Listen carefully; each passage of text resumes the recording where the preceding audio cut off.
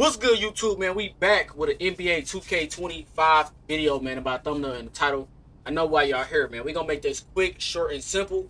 Everybody, man, is looking for the best lockdown build, man. I got y'all with the best lockdown build, man. I already been dropping content on this game before, man. So, first, we going to jump straight into it, man. we not going to do too much talking, man. For everybody out there looking for the best lockdown builds, man, uh, this is the 6-7, 6-7 uh, I think the best wingspan that I think that you should go, man, and, and for this, I think it's 215, really, so you can keep having the, you know what I'm saying, that 85 strength, and you can have an 83, man. So I think this is the best weight, best height, best wingspan, man, for the lockdown, bro. You only go one tick down, right? The 6-7 lockdown. Um, as I'm making this build, man, I'm going in with the knowledge of me playing 2K for so long, so I'm paying attention to the takeovers everything you get, everything that you should have, and the badges that you should get for this uh for this build. Off the rip, as a six seven lockdown, bro, I think you should most definitely have perimeter and steal. Steal is looking crazy this year, bro. I don't know if you need. Well, you could go 98 and then you can get interior. You probably don't need it for uh glove. I don't know, but I think interior is, uh, interceptor is good enough. I'm gonna tell y'all why, bro. Because I've been seeing a lot of people get crazy passing lane steal, bro. So if I were to make a lot, this is the lockdown build that I would make.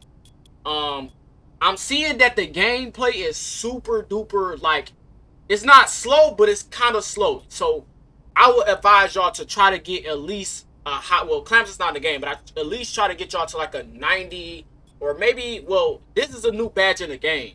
So whatever you need to get this this this badge right here on Gold or Hall of Fame. Obviously, I should have upgraded these first, the agility and the speed. I should have maxed both of them out, bro.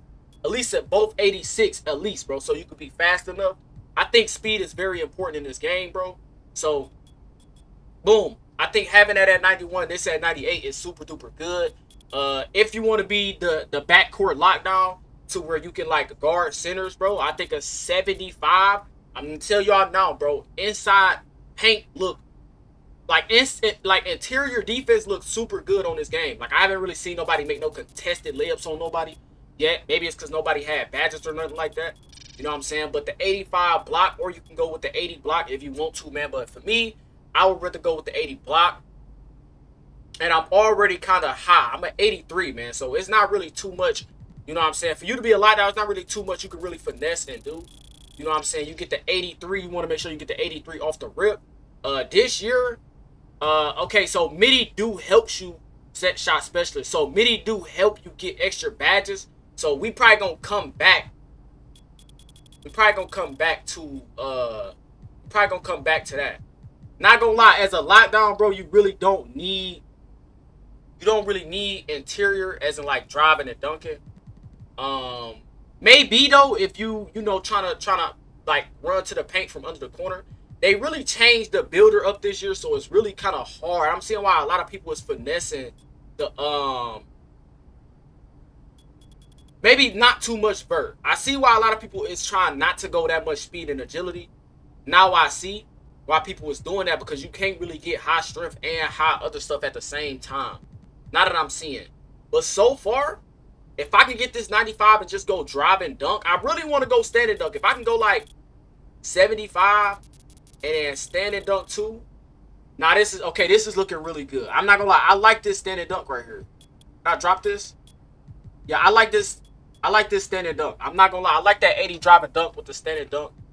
You know what I'm saying? I think if you go in the paint and you get a good pass straight to the paint and you standing dunk, I think that is good right there.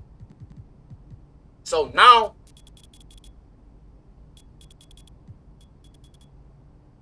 this is looking like the best lock so far. Y'all, I'm not gonna lie. This is looking like the best lockdown that you could make for six seven, bro. Like the build, the builder really is kind of hawky this year. I'm not gonna lie. It's super duper different. But you still get challenger though. If you can get that challenger gold, like maybe if you can like drop, you know what I'm saying? Maybe drop this down to 80, get the 80 driving, and then try to get that challenger. Where that challenger at? Boom, get that challenger gold, and then go back to the driving dunk. 83. I think this is good right here, bro, with that rise up, bro. I think this is good with that rise up. not gonna lie, Chad. This is looking cool right here with that rise up, Chad. I'm not gonna lie. This is looking good right here with that rise up, man. I think that this is the best lockdown build, man, that y'all should go into 2K25 making. That's gonna be the end of the video. We out.